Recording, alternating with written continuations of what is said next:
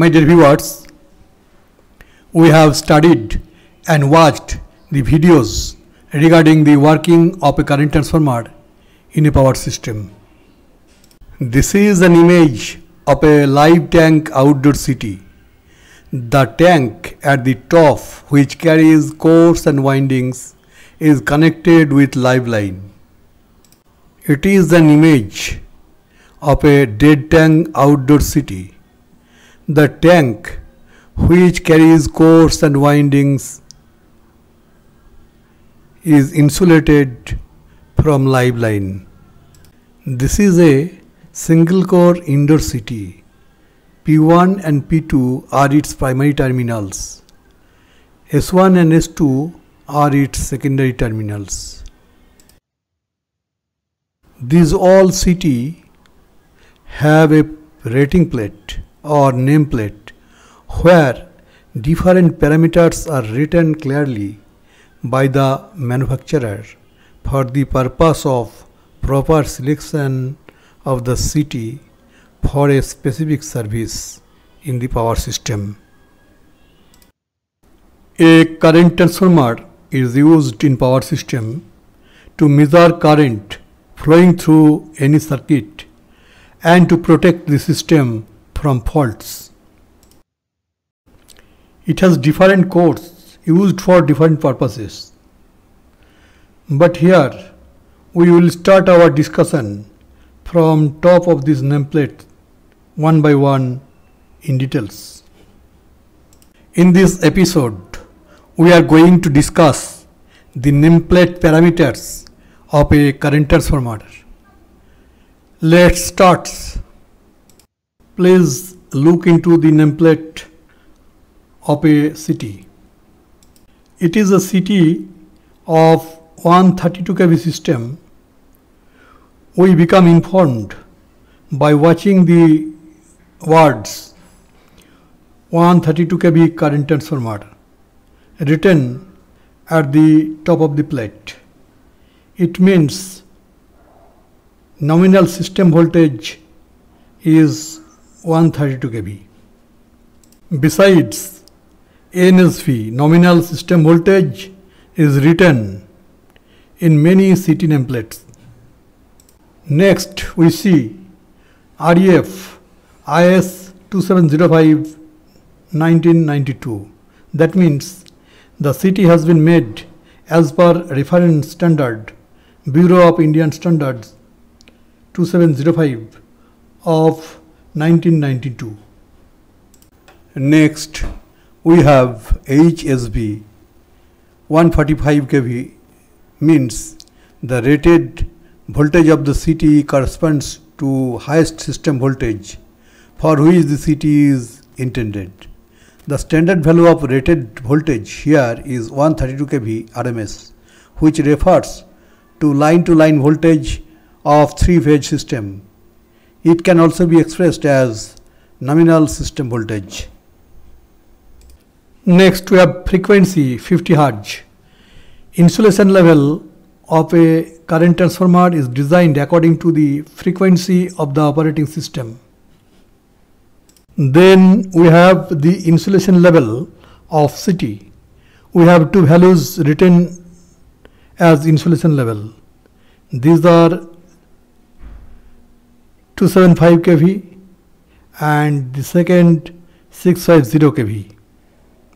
The first value of insulation level voltage is called power frequency voltage should be in kVRMS.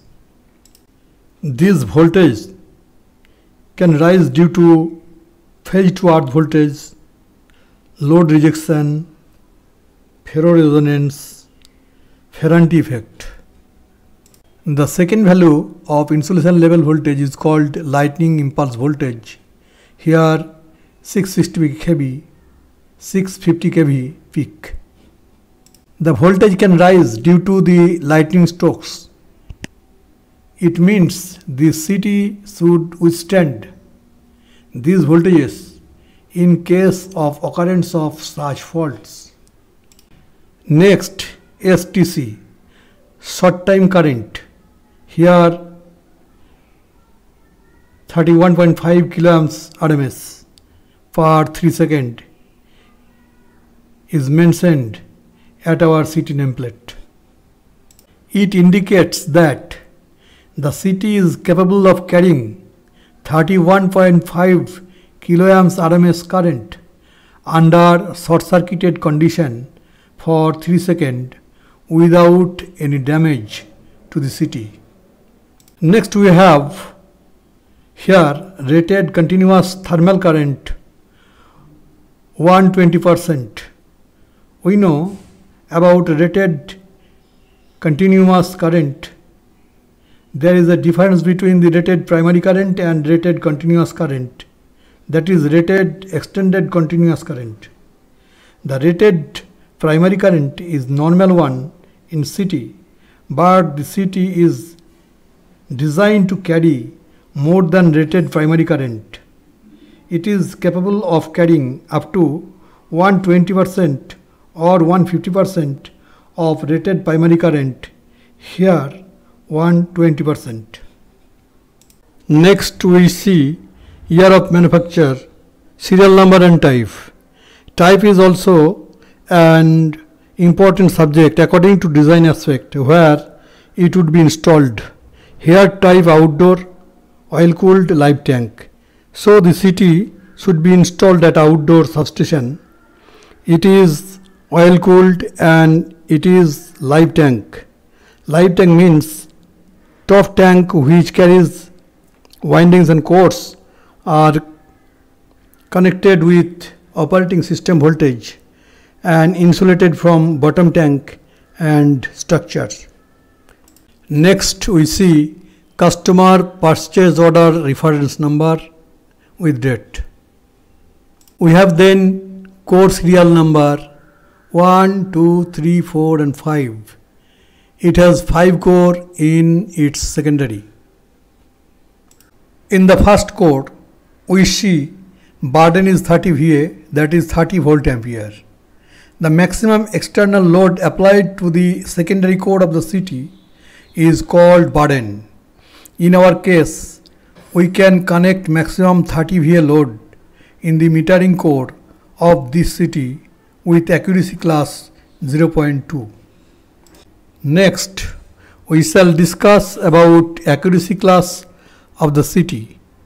We require accuracy class for metering circuit and protection circuit that's mean protection class. Next we see accuracy class of other four cores are PS. We have seen PS and PX classes in the nameplate of other CTs that denotes the classes are suitable for differential protection. 5P10, 10P20 are also seen in some nameplate. Here first digit 5, 10 represents allowable composite error. P represents the protection class and last digit 10, 20 etc. represents accuracy limit factor ALF. Accuracy class 5P10 means 5 stands for composite error P stands for protection class, 10 stands for accuracy limit factor, ALF. This means that current transformer CT will measure with less than 5% error when primary current is not bigger than 10 types of rated nominal current. This type of protection is generally used for overcurrent protection. Here metering class code 1 accuracy 0.2 metering class accuracy according to metering subclasses as 0.2s 0.2 0.5s 0.51 for metering core allowable composite error should be minimum. Some CT nameplate contains ISF and ALF. ISF means instrument safety factor and it is applicable for metering class. In some cases, the primary current may be increased up to 5 times of rated primary current may damage the equipment connected. So, the manufacturer should mention the safety factor. Accuracy limit factor ALF used for protection class.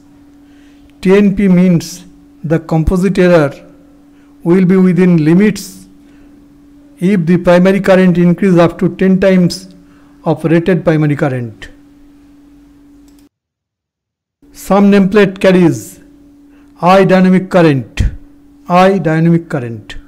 Dynamic current means making current. It will be 2.5 times of short circuit current. Let's come at the knee point voltage. We have knee point voltage mentioned on the nameplate as Vk. These are the voltages applied across the secondary of the CT with all other CT windings open circuited.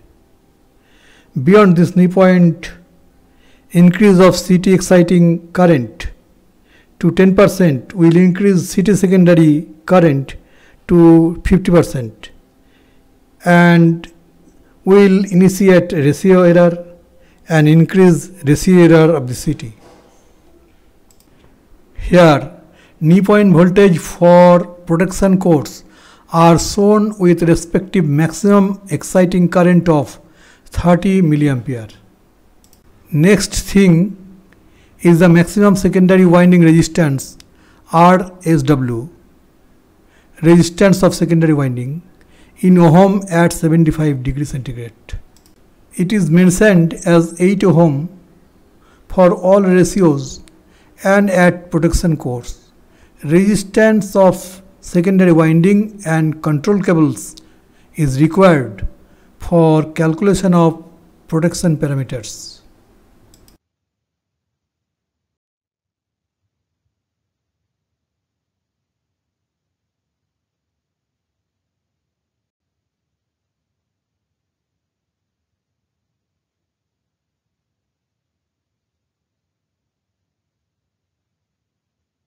In the nameplate, we see connection diagram where P1 and P2 is primary of the CT and then in secondary there are five different cores of the CT. In the table we have two CT ratios.